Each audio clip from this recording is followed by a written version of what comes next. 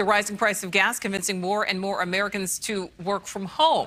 According to a News Nation Decision Desk HQ poll, this poll again, 86% of Americans somewhat or strongly in favor of their company allowing them to work from home so they can save money on gas. And in the same poll, more than 60% would somewhat or strongly favor a government policy mandating employers have a work from home option.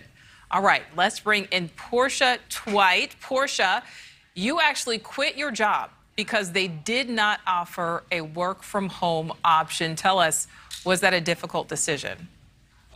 No, it wasn't a difficult decision because the year prior I had was forced to work from home. And so when I saw that we were being told to come into the office, I said, "Oh, it's time for me to go get a remote job."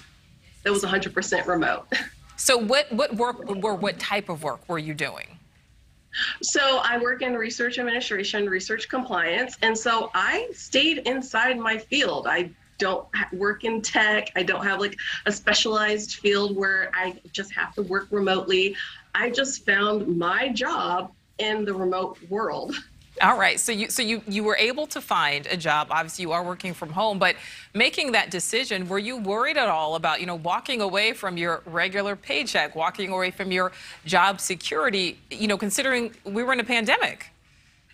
Yeah, I mean, I understood we were in a pandemic, but here's the cool thing. Some of the most innovative uh, companies in this country understood that an easy way to poach um, employees was offering remote work, and that's exactly what happened to me. They said, "Hey, we can offer your same pay and let you work remote." And so I said, "I'll jump ship." It, I, I lost nothing doing this.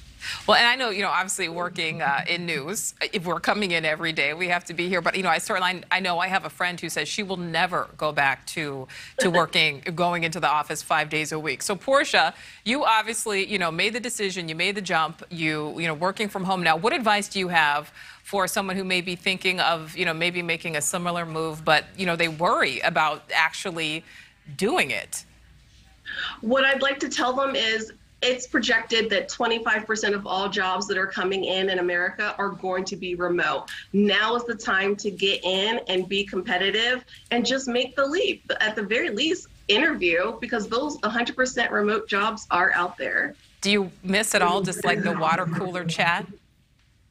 You know, it's funny. People keep asking me, will, will I miss that? And the fact of the matter is, I talk more with my colleagues because I can text them, I can message them. There's so many more ways for me to connect with my colleagues. I don't miss it at all. all and right. it helps that I can do laundry between breaks. Oh, that, that's exactly. I'm sure that does help. Portia, we appreciate your time. Thank you so much.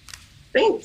Thank you for watching. Go to newsnationnow.com to find News Nation on your television provider. And don't forget to click the red subscribe button below to get more of News Nation's fact driven, unbiased coverage.